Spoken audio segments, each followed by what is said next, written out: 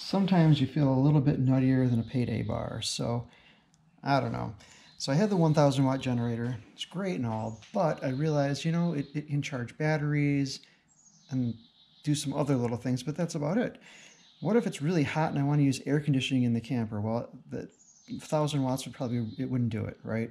So looking online, I found some people that made some videos using a 2000 watt inverter generator, and that allowed them to run their air conditioner. So that's what I'm going to attempt to do, and I'll test it out once I get my camper back in the next couple weeks here from storage. Um, so Costco right now has, it's a 2000 watt um, starting 1600 watt continuous generator made by Firman. They have it right now on sale for 350 bucks, so it's a little more than the last generator I had, but it's got double the power. Um, I also picked up, oh, actually ordered a hard start capacitor, it's called, that you plug into the air conditioner, um, which should help this as far as starting the air conditioner. It should definitely help that quite significantly. um, so yeah, so it's just a little inverter generator, great little deal for 350 bucks. What I really like about it is it comes already with a 30 amp outlet for the camper. So that to me is like a huge bonus. Comes with this little adapter as well. So to me, that's one of the big selling points. Um, if you want to do a parallel, you can do parallel. It comes with the wires or whatever type of thing. Um, it came with the oil, it came with a spark plug wrench, came with a little screwdriver. That's the little kit that it comes with. Um, so yeah, there's that. What I'm going to do real quick is I'm going to start it up so you can hear it. It's, it, it's actually very quiet. I'm actually quite impressed. Um, so I'll start it up and then I've got a 1500 watt heater that I'm going to plug into it and see how it does with that.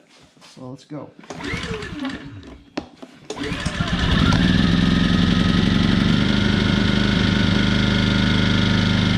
tell starts starts very easily, no problems. That was one pull. So I'm gonna plug the heater into it now. Right now it's on eco mode, so you can bump it up in eco mode. It's a little louder, obviously.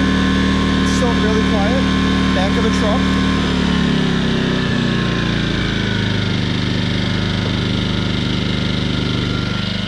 Here's the here. Do low initially definitely felt that, huh?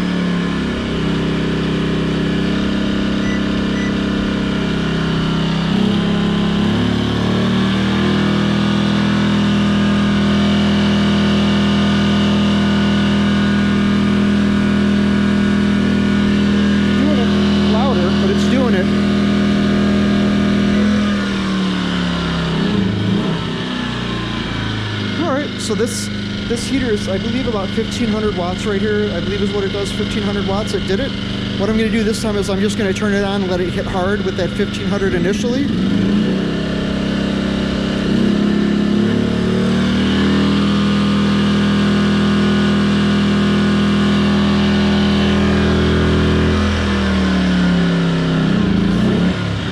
check real quick to see if it overloads I do that.